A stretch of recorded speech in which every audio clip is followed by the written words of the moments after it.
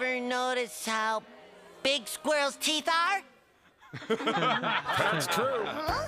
I mean, hey, you could land a plane on those things. and what's up with that squirrel fur? I guess fleas need a home too, huh? Squirrel fur! And they smell. But hey, you'd stink too if you spent three months buried in dirt.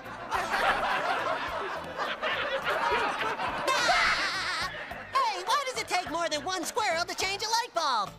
Why? Because they're so darn stupid.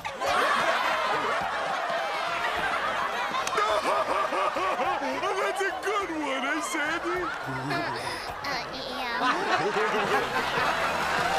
That was fantastic, boy. You really knocked him out. I think I'll do this joke night again. With you as the headliner. I never thought I could be a headliner.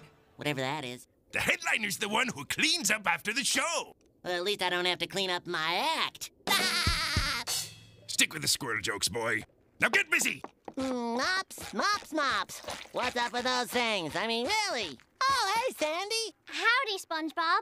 Did you like the show? Well, actually, SpongeBob, no.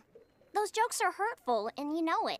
Come on, Sandy, I was just joking. I mean, everybody knows you're the smartest one in Bikini Bottom. Well, I can't argue with that. We all gotta laugh at ourselves once in a while. I do it all the time. Ah! Ah! Ah! You're right, SpongeBob. I was being a little too sensitive. no hard feelings. Okay, deodorant. Huh. Let's see. Roll on or stick?